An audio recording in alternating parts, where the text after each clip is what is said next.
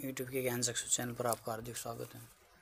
दोस्तों, इस नवरात्रि में यदि आप कुट्टू का आटा प्रयोग कर रहे हैं उपवास में तो पाँच चीज़ें ज़रूर जान लीजिए, जो आपके लिए बहुत ज़रूरी है। पहली बात दोस्तों कुट्टू का आटा खरीदते समय इस बात का ध्यान ज़रूर रखें कि आटा बहुत ज़्यादा पुराने समय से रखा हुआ या पुराना ना हो।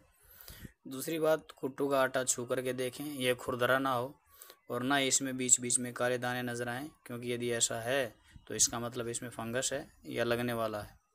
कुट्टू का आटा लेते समय इस बात को अच्छी तरह से जाँच परख ले दोस्तों कि इसमें कीड़े ना पड़े हों। कई बार आटे में इतने सफ़ेद रंग के बहुत महीन कीड़े होते हैं जो आसानी से देख नहीं पाते तो गौर से देखिए। चौथी बात दोस्तों, बाज़ार से कुट्टू का आटा खरीदते समय खुला आटा लेने से बचें।